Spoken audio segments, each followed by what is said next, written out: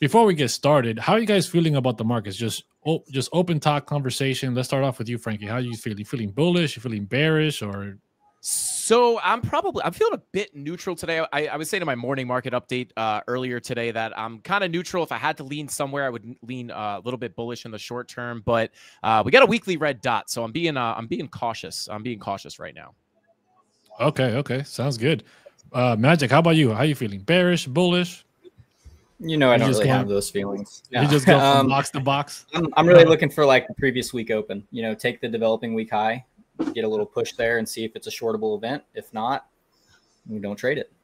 All right, Gareth, how about you? How you feeling, man? So I think for the crypto markets, it's it's kind of a neutral, slight negative. I'm I'm a little surprised with how fast we snapped back from yesterday. Granted, the rumor, obviously, of the government that was just a rumor which panicked people but but i am curious here. This level at 30500 on crypto to me is is a, a, huge level. We've pulled back already. As we reattack it i get a little bit more concerned that that week that weakens the level. So we'll have to see if we get back to that 30 30 30500 level.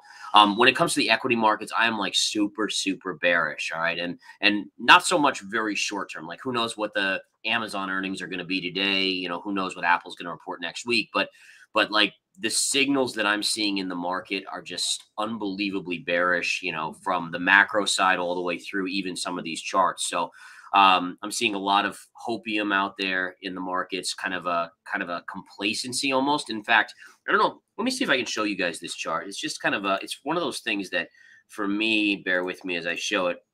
You know, take a look at this. So I think we've all seen this before, right? This is the psychology of the market chart.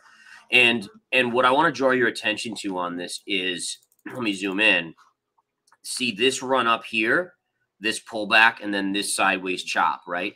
And now if we flip over to, let me see if I can go to the, let me flip over to my stock charts here. Bear with me.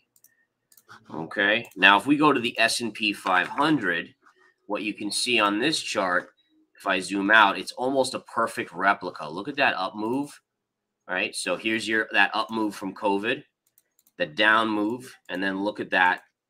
And so, so if you go back, if we looked at that chart again, what we were in was the period after euphoria, where you pulled back, where you're getting into complacency, and that's the part of complacency to me that people are saying, "Oh, we're going to go right back and start making new all-time highs. Everything's going to be fine." and they're ignoring a lot of the the other factors that are going on. And so if this plays out like that chart that I just showed you before, which was the psychology of the market, the next wave down is going to be a massive, massive sell.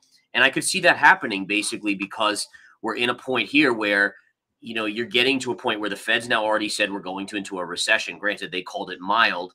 I would just generally say that remember the Fed also said we were going to have transitory inflation. So yeah. they're not the best. If they say something, chances are it's about 10 times worse. Um, and so just to be be aware of this, I mean, this complacency period has a lot of people just saying, you know, it's all clear, all clear signs. The Fed's eventually going to halt and we'll be fine. I think they're missing the point of that. We're going to see the, the economy get weaker and weaker, and the Fed isn't going to be able to drop rates like they did prior because inflation's still high. I'm worried. That's all I'm going to say. I